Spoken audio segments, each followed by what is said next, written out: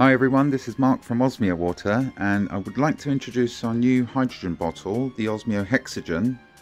It's a uh, it's a polycarbonate bottle, 210ml, and it's a hexagonal shape kind of design, which uh, anyway, um, you would just simply just press the button and to uh, enter a cycle. Uh, I start them up and um, you know it does a five minute cycle. You can just press again to go for a 10 minute cycle and you can see there it's just bubbling away there. Um, anyway these are new bottles that was just set up.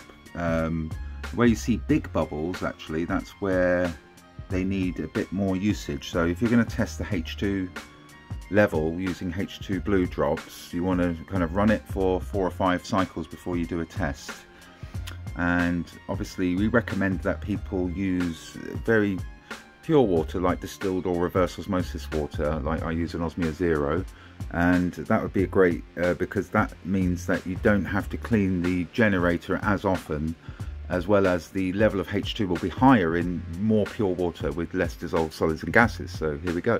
They have some important updates that I'd like to tell people about, especially people who are already familiar with hydrogen bottles. You might notice that a lot of the older designs would end up with water coming out the bottom of the base and these ones do not because of the way the generator is designed.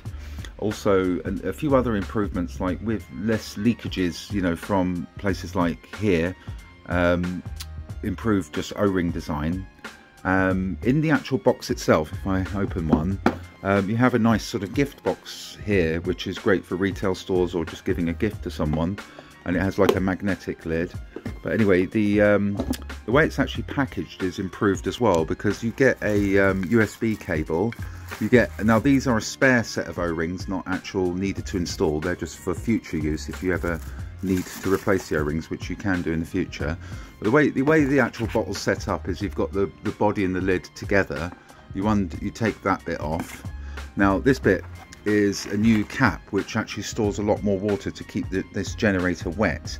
So you would unscrew this off, um, uh, then you can screw the body on and literally just give it a rinse, fill, fill it with water, give it a rinse, and it's pretty much good to go.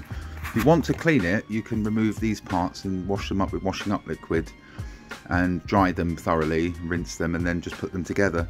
And that's pretty much how it's boxed. I would keep these parts as well, so if it ever needed to come back for any reason, you've got the box and you've got the um, parts to actually keep the generator wet and send the generator back like that for example.